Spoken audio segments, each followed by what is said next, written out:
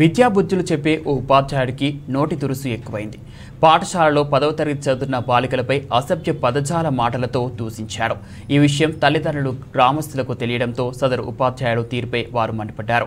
ఈ సంఘటన doctor BR Ambedkar Konaseema జిల్లా మండల కేంద్రం కపిలేశ్వరపురం జిల్లా పరిషత్ హై స్కూల్లో చోటు చేసుకుంది. పదవ తరగతి క్లాస్ రూమ్లో పాఠశాల ప్రధాన ఉపాధ్యాయుడు ముంగన వెంకటరాజు పాఠ్యపుస్తకాలు ఎందుకు తీసుకురాలేదని క్లాస్ రూమ్లో అందరి ముందు విద్యార్థినుల పట్ల అసభ్య పదజాలతో మాట్లాడారని తెలిపారు. దీంతో గ్రామస్తులు తల్లిదండ్రులు ఉపాధ్యాయుడిపై మండిపడ్డారు. ఇటువంటి పొరపాట్లు మరలా జరగవని ఆయన చెప్పడంతో వివాదం సద్దుమణిగింది. ఏమిటండి బాబు పిల్లలు ఉండదు. రోజు అంటే తప్పదు. ఏదేం కాదు.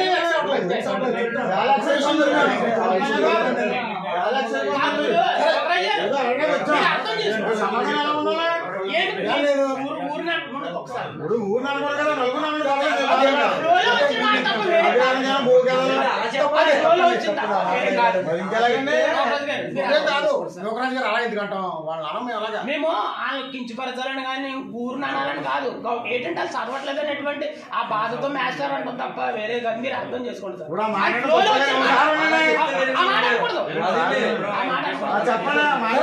సరే సరే సరే మీ పిల్లలు క్రమశిక్షణ క్రమశిక్షణలో ఉండాలని బెదిరిస్తాం అంతే తప్ప వాళ్ళ